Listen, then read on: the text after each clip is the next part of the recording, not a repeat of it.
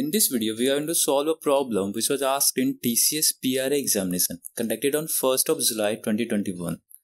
And to solve this question, we are going to use the awk method. In case if you want to find some different method of solving same type of question, you can always go to our Unix playlist and search for videos there.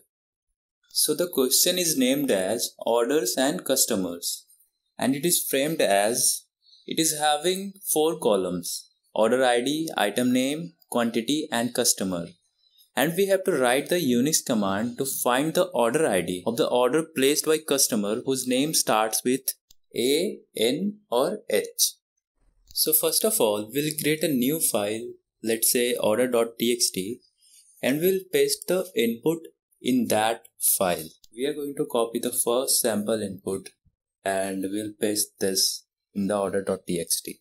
Now the next step is to write the Unix command and to do that we'll be needing one separate file.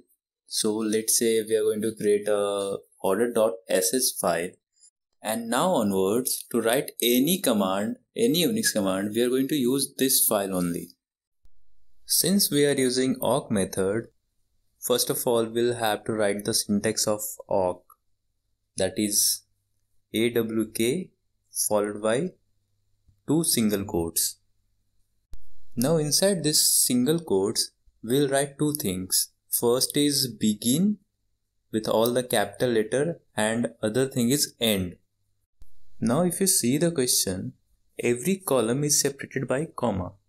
So the field separator here is comma. So inside that begin bracket, we'll have to pass comma as a field separator. So the syntax will be fs equals to comma in the double quotes. Now the next thing is to write the logic to find the order ID of the customer whose name starts with A or N or H. So what we can do is we can take a if conditional statement and we can compare the $4 variable that is customer name first letter with A or N or H and if the match is found we'll have to print the dollar one that is order ID. Here in the question you can see that the row number 1 is just represent the name of columns. So while checking or comparing the customer name with A or N or H, we should avoid the row number 1.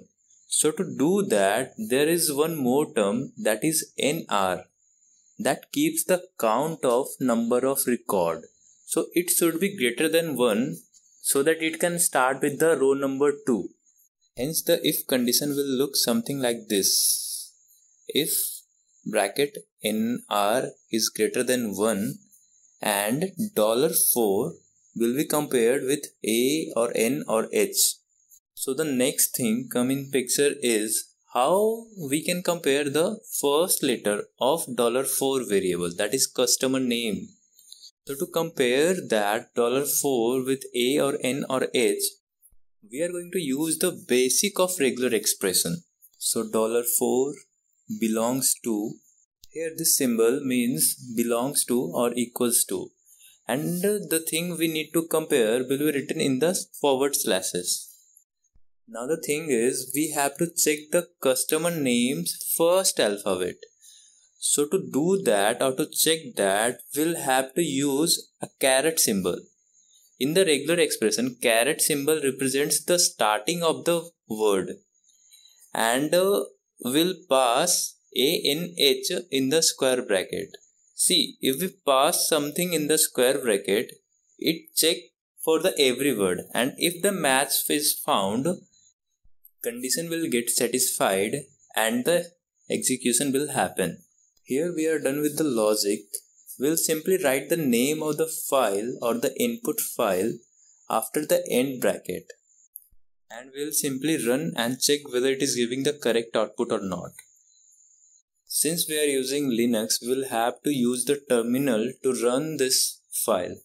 So we'll open terminal and uh, write the file name dot slash order dot sh and we will simply press enter Now here you can see that we are getting the order ID for the customer whose name starts with A or N or H. So we can say that we are getting the exact output that was required. Hope you have learned something from this video. Please give us a like, do share and subscribe to our channel. Thanks for watching Python Everyday. Like, share, and subscribe. Don't forget to watch other videos on our channel. Goodbye. See you in the next video.